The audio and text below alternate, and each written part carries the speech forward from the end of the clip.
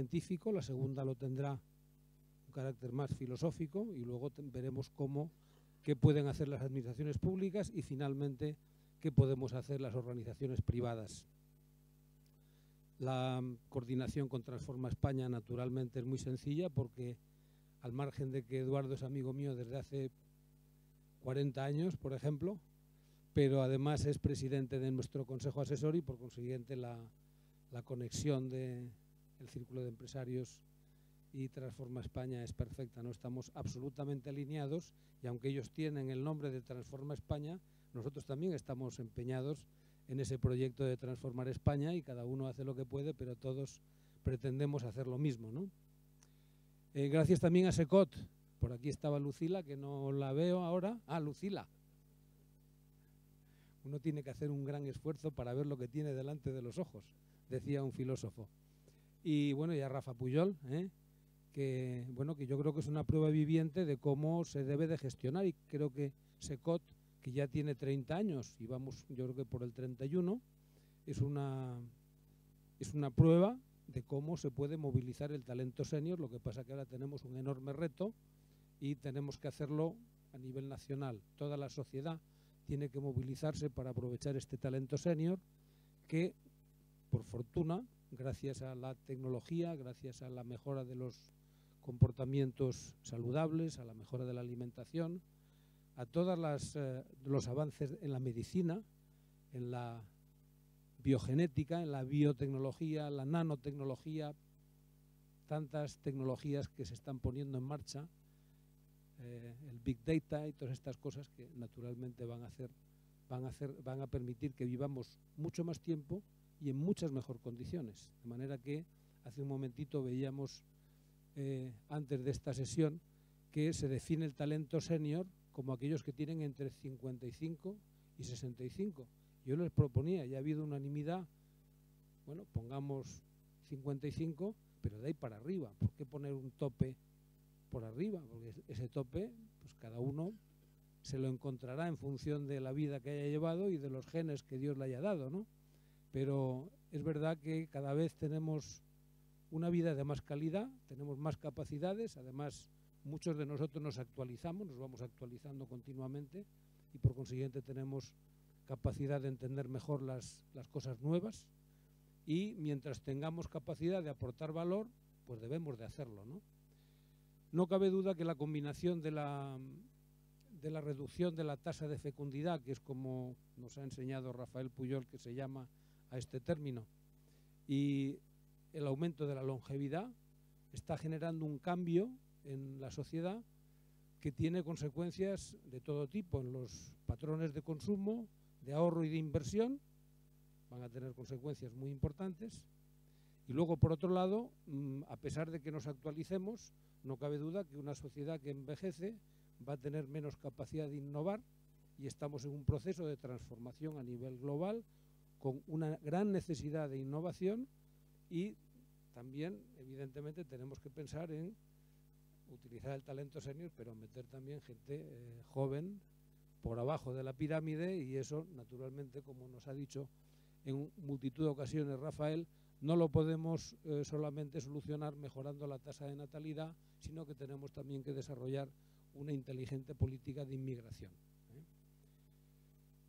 De manera que mm, yo creo que tenemos un enorme reto. Como siempre, estos retos que son a largo plazo, nuestros políticos no se los toman muy en serio, porque bueno, pues seguramente no afectará lo que se haga para las siguientes elecciones, pero la sociedad civil, que nosotros creo que tenemos, somos unos buenos representantes de la sociedad civil, nos lo tenemos que tomar en serio, tenemos que analizarlo, tenemos que generar ideas y tenemos que hacer propuestas y meterles presión para que se lo tomen en serio, porque realmente esto es uno de los retos más importantes que tiene nuestra sociedad, porque España además es un avanzado en términos de longevidad y es un avanzado en términos negativos en poca fecundidad. ¿eh? Tenemos 1, parece que es 1,2, 1,3 de tasa de fecundidad, que es una de las más bajas del mundo, y para mantener la población necesitamos 2,1. O sea que estamos muy lejos.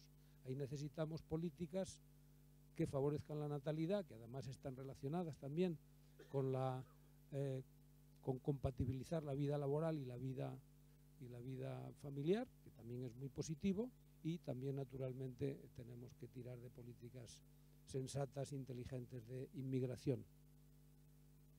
Bueno, pues nada más, yo os agradezco a todos vuestra presencia. Naturalmente, yo creo que hay que agradecer también a Reyes y a Alicia, porque son de las dos partes quienes nos han estado dando a todos, nos han metido presión y han ido poniendo eh, los detalles para que esto funcione.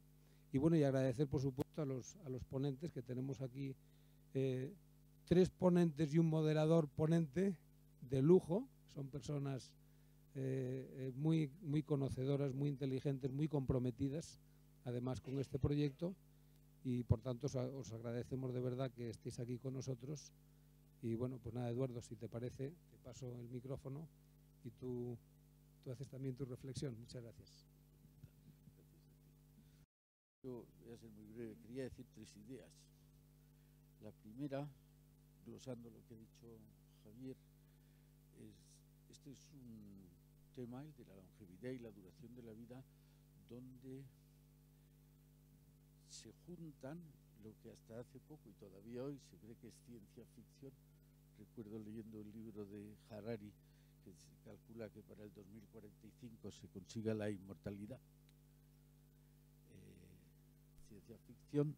Junto a eso, estamos hablando de lo más pragmático que hay, que si van a durar las pensiones, van a alcanzar las pensiones, cuánto tiempo van a alcanzar.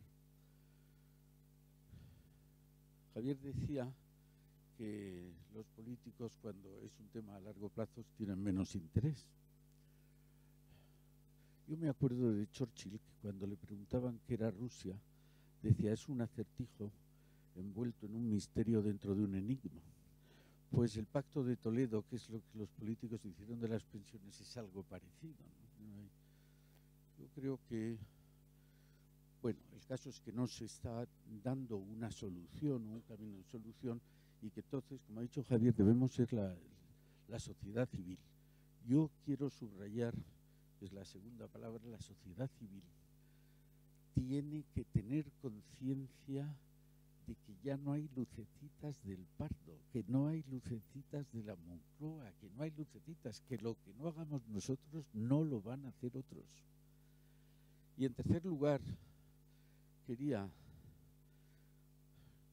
transmitirles el agradecimiento de la Fundación Transforma España, primero al Círculo y a su presidente, que como ha dicho Javier, vamos de consumo. En segundo lugar, esta es una historia de generosidad múltiple y compartida. Esto empezó con un grupo de trabajo de la Fundación que mostraron su preocupación por lo que entonces empezamos a llamar el talento senior. Entonces hablamos de que habría que hacer modificaciones en la legislación, hemos visitado al Ministerio de Trabajo, al Secretario de Estado de Empleo, hemos eh, llamado a los sindicatos que realmente José María Fidalgo generosamente nos ayudó mucho y hoy a nuestros ponentes que con toda generosidad se brindan cada uno en el ámbito de su especialidad. Yo a esta mesa la llamaría la mesa técnica. Tendremos una filosófica, tendremos una empresarial y tendremos una de administraciones. Pero esta es la primera. A mí me gustaría mucho, por el círculo y por la fundación, que esto fuera algo así como un hito en tomarse en serio el problema de las pensiones. Hablamos poco de la generosidad intergeneracional. Pero si no somos generosos con las generaciones que nos siguen, ya sabemos lo que hacen. Es inteligencia de nuestro lado el intentar compartir con los más jóvenes lo que tenemos. De manera que muchas gracias a ustedes por su presencia, muchas gracias a los ponentes y muchas gracias a Javier por su hospitalidad y por su disponibilidad siempre. Buenos días. Yo diría que es profundamente bello e inspirador. A veces cuando pensamos en el transcurso de la vida, de cómo la vida va pasando, tendemos a utilizar palabras como viejo, mayor, senectud, etcétera, etcétera, cuando en el fondo muchos de los que estamos aquí podemos presumir de que tenemos bastante juventud acumulada. Entonces es un tema de ir acumulando juventud. Por otra parte, eh, buscamos siempre, y sobre todo eh, cuando se aspira a la transformación, buscamos primero un aumento del nivel de conciencia, es decir, que seamos capaces de ver lo que no estamos viendo. Segundo, como tú has comentado, eh, Eduardo, y como Javier también ha comentado, responsabilidad, es decir, nosotros somos las personas que podemos hacer algo. En tercer lugar, motivación, es decir, sentir esa ilusión, esa llamada a hacer algo. Y luego confianza, todos juntos podemos hacer mucho. Y entonces es cuando nos ponemos en marcha desde el compromiso, desde la voluntad de servicio, la voluntad de progreso y de superación. Que esta segunda etapa de la vida no sea el final del libro, sino el comienzo de un nuevo libro, escribir un nuevo libro. Yo me siento profundamente afortunado y agradecido por moderar eh, una mesa con personas eh, de la talla de las que tenemos hoy. Cuando por temas de mi propia profesión, como médico, como cirujano y investigador de la mente humana, he tenido que viajar en distintos, por distintos países, me doy cuenta de cómo en lugares como podría ser, por ejemplo, Estados Unidos, enseguida se valora lo que se tiene, las personas hablan con una confianza enorme y da la sensación de que nosotros en España no tenemos lo mismo. Hoy vais a ver, gracias a los ponentes que están ahí, la categoría de personas de ciencia e investigadores que existen en España. Y personas que tienen un enorme mérito porque son capaces de sacar adelante proyectos de investigación de primer nivel, a veces con recursos muy, muy escasos. A mi izquierda tengo a José Viña. José Viña es una persona muy especial. Es catedrático de fisiología, sabéis que la fisiología estudia el funcionamiento de los organismos, de fisiología en la facultad, eh, en la Universidad de Valencia, y es una persona con una trayectoria investigadora increíble. Para que os hagáis una idea, estuvo trabajando con eh, Hans Adolf Hess, que a muchos no sonará, pero a mí me suena mucho, se lo contaba José, porque fue el descubridor del ciclo de Krebs. En honor a él, él ganó el premio Nobel en 1953. Y es que es el ciclo de Krebs. El ciclo de Krebs es lo que consigue que una célula genere energía. Algunos de los venenos que se utilizan en las guerras bloquean algunos de los elementos en el ciclo de Krebs. Pasó mucho tiempo con él. José ha escrito más de 250 artículos que han aparecido en revistas de la talla de Nature. Nature es una de las revistas más importantes del mundo, no aparece cualquier artículo. Es una persona muy interesada en todo lo que tiene que ver con la nutrición humana, cómo se puede favorecer que ciertos genes se expresen a través de la nutrición, a través de los cuidados. Es una persona tremendamente relevante. Muchas gracias por estar aquí. ¿eh? A mi derecha, una persona también muy querida, Rafael, Rafael Puyol, todos le recordamos como un gran rector de la Universidad Complutense, catedrático de Geografía Humana, un auténtico experto internacional en migraciones, en todo lo que tiene que ver con, con el envejecimiento de la población, una persona que ha escrito 18 libros y tiene más de 200 artículos publicados. Persona muy relevante, Instituto de Empresas, sabéis que es una, es una entidad privada reconocida a nivel mundial, una persona muy volcada en ayudarnos a entender todo lo que es el envejecimiento demográfico. ¿Cómo sucede esto? Nos da contexto, nos da distancia, nos da perspectiva. Y como dicen los ingleses, last but not least, el último que no el menor, aquí no hay menores, son todos grandes, sois todos grandes. José Antonio Serra. José Antonio Serra es eh, jefe del servicio de medicina geriátrica de uno de los mejores hospitales que hay en Europa. Vuelvo a recordar que a veces no valoramos lo que tenemos, ¿eh? el Hospital Gregorio Marañón. Es una persona tremendamente volcada en la biopatología, es decir, cómo el envejecimiento se puede entender de otra manera. La biopatología del envejecimiento para encontrar claves, por ejemplo, para que aquellas personas de cierta edad, con más juventud acumulada, que tiene una fractura de cadera, que tiene un infarto miocardio, que tienen un síndrome eh, confusional, puedan estar mejor, puedan, puedan salir adelante, puedan recuperar su energía y su vitalidad. Para que os hagáis una idea de su talla como docente, es un hospital eh, universitario, ha escrito 40 capítulos en libros de texto, que nos demos cuenta de la talla de estos seres humanos, de eh, lo mucho que podemos aprender todos de ellos. Y la mesa va a ir de la siguiente manera. Eh, primero eh, va a hablar Rafael. Rafael nos va a dar un contexto de lo que es el envejecimiento demográfico, con todo su extraordinario conocimiento. Después irá José. José nos hablará pues, también de temas fascinantes, de cómo se aplican pues, estudios del laboratorio, estudios de investigación a nivel de máximo calado en el, en el entorno social. Y finalmente pues José Antonio también nos hablará de toda su investigación, de todo lo que ha descubierto. Cada uno tendrá aproximadamente unos 10-12 minutos. Yo al final eh, haré un pequeño resumen. Eh, no sé si va a ser tan profundo, tan importante lo que digan que posiblemente lo que haga es resaltar algunas de las ideas fundamentales que hayan dicho y luego abriremos un turno de preguntas. Yo tenía una, una diapositiva, Alicia, no sé si um, se puede proyectar. Bueno, eh, es, es, la única eh, diapositiva que, que, tengo y que contiene pues el guion de las cosas que voy a decir. Eh, me voy a mover más en el plano de las ideas que en el de las cifras.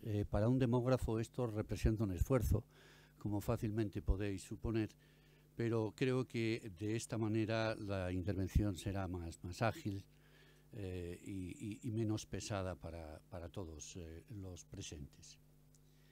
Mi primer punto es, eh, el envejecimiento es en realidad un rejuvenecimiento y lo es porque cada vez más gente vive en condiciones cada vez mejores. Como todos sabemos, aumenta la esperanza de vida al nacimiento, aumenta la esperanza de vida a los 65 años y aumenta la esperanza de vida saludable. Y hay un estudio que a mí me gusta citar de una sociedad eh, japonesa gerontológica y genética que pone manifiesto a través de diferentes estudios que hoy en ese país las personas que tienen en 75 y 79 años equivalen a las que tenían 65 a 69 años hace 15 o 20 años. Por lo tanto, podemos decir que le hemos ganado 10 años eh, a la vida y en unas condiciones realmente muy saludables. Tenemos, en definitiva, lo que un autor llamado Robert Pogge llamó la juvenescencia, es decir, que no seremos viejos más tiempo, sino que seremos jóvenes más años. En segundo lugar, eh, señalo la conveniencia de usar umbrales móviles para medir el envejecimiento. Tradicionalmente hemos venido utilizando eh, umbrales fijos. Definimos el envejecimiento como el conjunto de personas que tienen 65 años y más y su porcentaje sobre la población total representaría el índice que mide la intensidad de ese envejecimiento. Bueno, yo creo que, ya no, tiene sentido el usar estos umbrales eh, fijos porque ya nadie dice que una persona por tener 65 años deba de ser considerada una persona vieja. Eh, hay que tener en cuenta que ya ha nacido la generación que va a vivir 100 eh, años y que por lo tanto conviene situar el umbral del envejecimiento más arriba de lo que tradicionalmente venimos haciéndolo. Y hay un procedimiento utilizado por dos científicos eh, suecos que eh, dicen que el envejecimiento empezaría alrededor de 15 años antes de la esperanza media de vida que existiese en cada momento. Eso, como vamos a ver enseguida con las cifras españolas, supone una elevación por encima de los 65 años. Mi tercer aspecto es cuantificar y caracterizar el eh, fenómeno del envejecimiento en España y elijo España porque es un país profundamente envejecido y qué mejor que utilizarlo para eh, glosar los rasgos fundamentales que hoy lo caracterizan. Vamos a ver en primer lugar las grandes cifras. Si nosotros utilizásemos el umbral fijo, que es ese de los 65 años y más, tendríamos en España 8,7 millones de personas que representarían aproximadamente un 18,8% de la población total. De ellas, casi 3 millones son ya octogenarios y tenemos unos 15.500 centenarios aproximadamente. Si utilizásemos el umbral móvil, definido como lo decía hace un instante, bajaríamos a 7,2 millones y el índice sería del 16%, es decir, como eh, tres puntos menos que utilizando el umbral fijo. Tenemos que ir acostumbrándonos a estos umbrales fijos porque yo creo que definen mucho mejor que, eh, perdón, estos umbrales móviles porque yo creo que definen mucho mejor que los fijos el fenómeno del envejecimiento. Una segunda característica es la inversión demográfica. La inversión demográfica es algo muy importante. Significa que hoy ya los porcentajes de gente mayor son más elevados que los porcentajes de gente joven. Eso en España se está produciendo ya desde 1999 y no hace más que intensificarse. Otro rasgo es que estamos en presencia de un proceso realmente casi irreversible. El envejecimiento individual mm, no tiene vuelta de hoja. Eh, el año que viene una persona no puede tener más años, menos años, perdón, que, los que tienen el año actual, aunque haya algunos eh, miembros del, sexo femenino que hacen maravillas al respecto, pero, pero esto es así. Y el, envejecimiento colectivo es muy difícilmente reversible también. Es muy difícil conseguir que esos umbrales del 18, del 19, del 20% eh, se puedan reducir. Se pueden reducir eh, a través de un aumento de los niveles de fecundidad o se puede reducir mediante una inmigración, pero realmente se pueden reducir muy poco, son elementos paliativos. El envejecimiento es un fenómeno que está especialmente intensificado en el caso de las eh, mujeres. Ustedes saben perfectamente que nacen más niños que niñas y que eso es una ley estadística que no tiene excepciones. Nacen 106 niños por cada 100 niñas. Los sexos se igualan porque la mortalidad de los varones es superior al de las mujeres en torno a los 50 años en España. Pero a partir de esta edad empieza a haber más mujeres. Por ejemplo, a los 65 años, por cada 100 varones hay 108 mujeres. A los 80 años, por cada 100 varones hay 142 mujeres. Y a los 90 años, por cada 100 varones hay 216 mujeres. ¿eh? El matrimonio a esa edad puede ser realmente una, eh, una cosa relativamente eh, sencilla. Y tenemos un nuevo rasgo que es el envejecimiento de la propia vejez. Es decir, cada vez más personas que cumplen 65, cumplen 70, cumplen 80, van cumpliendo hasta 90. Decía que ya ha nacido esa generación en la que al menos el 50% de sus miembros tendrá dentro de un periodo de tiempo ya bastante corto 95 eh, o 100 años. España es un país de mayores, porque todas las comunidades eh, españolas están envejecidas, aunque podamos diferenciar una zona norte más envejecida con las comunidades con más intensidad de envejecimiento.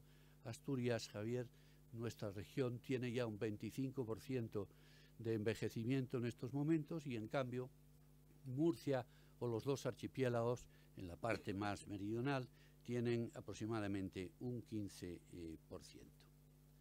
¿Y cuál es el horizonte 2030? Vamos a ver, con el umbral fijo subiremos a 11,7 millones de personas de 65 años y más, que representarán ya el 25% del total. Uno de cuatro individuos será mayor de 65 años en el año 2030. Tendremos 3,6 millones de octogenarios y ya el número de centenarios será en ese momento de unos 41.000 aproximadamente. Ahora bien, si utilizamos el umbral móvil, de acuerdo a la esperanza media de vida, eh, serían viejos los hombres a partir de 68 y serían viejas las mujeres a partir de 73, y son cifras conservadoras, porque probablemente habría que situar los valores un poquito más arriba, el total de viejos baja, y ya lo tenemos en solo 8,2 millones, y la tasa tenemos un valor del 18%, es decir, 7 puntos más abajo que la tasa utilizando el umbral fijo de los 65 años. Las consecuencias del envejecimiento, y a esto eh, dedicaré solo eh, dos, tres minutos porque no quiero eh, alargar mi intervención, se van a reflejar perfectamente en el mercado de trabajo, se van a reflejar, Eduardo Serra lo mencionaba, en el complicado tema de las pensiones y, por supuesto, en el aumento de los gastos sanitarios que se van a disparar. La combinación de la disminución de población joven y la retirada a una edad muy temprana de la actividad va a provocar una disminución de la población potencialmente activa en España. Eh, disminuirá la población entre 18 y 49 años en una cifra de casi 4 millones de personas en el año 2030. Aumentará la de 50 a 67, que sin embargo no compensará la pérdida del primero de los grupos. Y este hecho no es tanto una consecuencia del envejecimiento, sino un fenómeno que va a afectar a la población trabajadora eh, mayor. Sobre las pensiones hay eh, una agravación muy clara. Eh, esto es algo innegable, no se puede poner en tela de juicio entre cotizantes y pensionistas tenemos eh, un índice de 1,9 cotizantes por pensionistas y miren, el mínimo minimorum para poder pagar las pensiones por el sistema de reparto son 2.5. Con 1,9 pues no las podemos pagar ya hoy, pero es que en el año 2030, y de acuerdo a un estudio que hizo el Círculo hace unos meses, en el que tuve el honor de participar, el valor va a ser ya no de 1,9, sino de 1,3. Por lo tanto, el problema de las pensiones eh, utilizando pura y duramente el sistema de reparto es insostenible. Otra cosa es que se paguen con otros fondos. Yo creo que habrá que buscar sistemas de reparto combinados con sistemas de capitalización en el futuro, porque si no, no vamos a poder salir de este atolladero. Eh, y pese a eh, que aumenta el periodo de vida saludable, los gastos derivados, sus gastos sanitarios derivados del proceso de envejecimiento van a crecer porque las personas mayores bueno, pues consumen más productos hospitalarios, hay un proceso de geriatrización de los hospitales, eh, consumen más gastos farmacéuticos, mm, aumenta desgraciadamente la discapacidad y, la dependencia y por lo tanto no va a haber eh, más remedio que prever partidas más numerosas para afrontar estos gastos. Y acabo. ¿Cómo enfrentar los retos? ¿Hay medidas demográficas para enfrentar el envejecimiento? Bueno, hay medidas paliativas del envejecimiento. Una de ellas sería aumentar los niveles de fecundidad, para lo cual necesitaríamos políticas de ayuda familiar que no consistirían en una subvención aislada, el famoso cheque bebé de hace unos años que no sirvió prácticamente para nada, sino en una política de ayuda familiar pues requiere otros instrumentos. Requiere, sí, ayudas familiares, pero requiere una política de guarderías, requiere una política de permisos, requiere una política de conciliación de la vida laboral y familiar. Bueno, conseguiríamos elevar un poco nuestro bajísimo nivel de fecundidad y eso, aunque no resolviese el problema, siempre sería positivo. Otra medida demográfica es aumentar eh, la inmigración. Afortunadamente en España vuelve a crecer la inmigración y ya tenemos desde hace un par de años balance positivo de la migración internacional. ¿Pero son suficientes esas medidas demográficas? Probablemente no. Hay que recurrir a las políticas socioeconómicas. ¿Cuáles son? Pues para el mercado de trabajo eh, y dada la disminución de efectivos, sobre todo de jóvenes, pues eh, hay que prever algunas medidas para inyectar más trabajadores en ese mercado laboral, al menos en el corto medio plazo. Luego, quizás en el largo, los procesos de automatización, de robotización, podrían paliar eh, la situación. Bueno, el problema es que en España eh, el porcentaje de trabajadores a partir de los 55 años y sobre todo entre 60, 64 y 65, 69, eh, resulta ridículo si lo comparamos con la situación de otros países. Aquí tengo para el tramo 60-64, tasa española de población activa en el tramo 60-64, 38%. Trama, eh, eh, tasa inglesa, 52%. Tasa holandesa, 56%. Tasa alemana, 59%. Tasa sueca, 69%. Esto de las prejubilaciones y de las jubilaciones anticipadas no tiene en una situación demográfica como la que nosotros tenemos eh, ningún sentido. Será necesario arbitrar acuerdos entre los cuatro interlocutores que intervienen en el mercado laboral, las administraciones, los sindicatos, las empresas y los propios trabajadores, consensos para que nuestros seniors trabajen más tiempo. Eso de los 67 años se nos empieza a quedar muy, muy, muy corto. Tendremos que ir a edades de jubilación mucho más tardías. Para las pensiones, más trabajadores en el mercado laboral y un sistema mixto, como decía, reparto para pensiones básicas, capitalización para pensiones complementarias. Quizás un primer paso sería eso que llamamos las cuentas nocionales, que es el modelo sueco, que es el modelo italiano, que es el modelo de Polonia, que sería un primer paso para ir derivando nuestro sistema único de reparto a un sistema mixto de capitalización. Y por último, para los gastos sanitarios yo creo que es necesario, pero de esto no voy a hablar, pues estrategias de envejecimiento activo, estrategias de vida saludable, eh, medicina eh, preventiva, pero José Antonio, eso te lo dejo a ti, que lo dirás muchísimo mejor. Bueno, muchas gracias.